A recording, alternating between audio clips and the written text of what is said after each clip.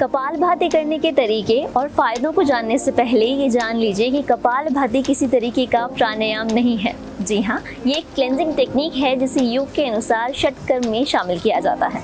अब आप कहेंगे कि आपने तो यही सुना है तो मैं आपको बताऊँगी क्या है सही, वो भी डिटेल में।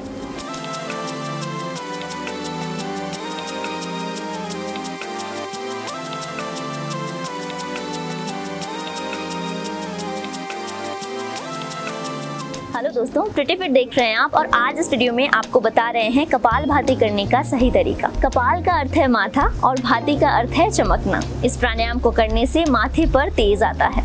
आपको ये भी बता दूँ कि इस प्राणायाम को करने से शरीर से लगभग 60 परसेंट यानी 60 प्रतिशत टॉक्सिन्स बाहर निकल जाते हैं। ये प्राणायाम आपकी बॉडी को नई एनर्जी तो देता ही है, साथ ही साथ आपके इम्यून सिस्टम को भी बूस्ट करता है।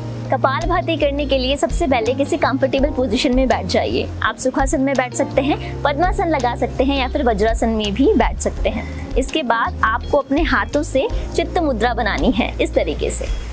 इसे अपने दोनों घुटनों पर रख दीजिए और उसके बाद हम शुरू करेंगे कपाल भाती। इनहेल करें और इसके बाद झटके से सांस छोड़ते हुए पेट को अंदर की ओर खींचें। ऐसा लगातार करते रहें। अपना ध्यान इनहेल पर नहीं, बल्कि एक्सेल पर रखें। अगर आपको हर्निया अल्सर हाइपरटेंशन या फिर हार्ट से जुड़ी हुई कोई प्रॉब्लम है तो इसे करने से पहले एक बार अपनी डॉक्टर की सलाह ज़रूर लें। Kapalbhati liver pancreas kidney intestine और लंग्स के लिए बहुत ही अच्छी एक्सरसाइज है।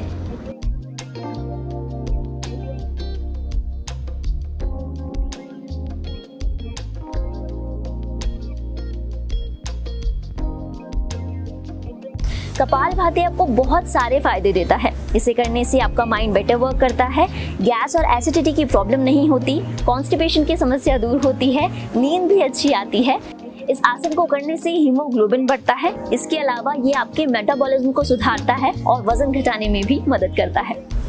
जैसे कि मैं हमेशा कहती हूँ कि प्राणायाम या फिर योगा में किसी भी क्रिया को करते समय आपको गिनती पर नहीं, सांसों पर ध्यान लगाना चाहिए। इसी तरीके से प्राणायाम को आप एक बार में 35 से लेकर 100 बार ट्राई कर सकते हैं। अगर आप बिगेनर हैं तो 35 पंप से स्टार्ट कीजिए और उसके बाद उसे धीरे धीरे करके हर दिन के साथ बढ़ाते रहिए और एक बार में सौ तक ले जाइए।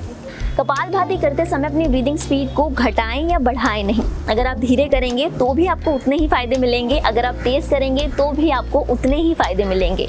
एक स्पीड से शुरू कीजिए और उसे एंड तक कंटिन्यू कीजिए। आप एक बार में तीन से पाँच बार कपाल भाती को कर सकते हैं।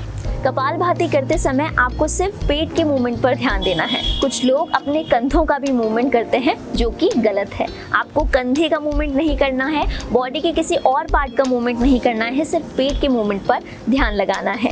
जब आप एक्सेल करेंगे तो आपका पेट ज़्यादा से ज़्यादा अंदर की ओर जाएगा, और जब आप इनहेल करेंगे, तब वो रिलैक्स रहेगा।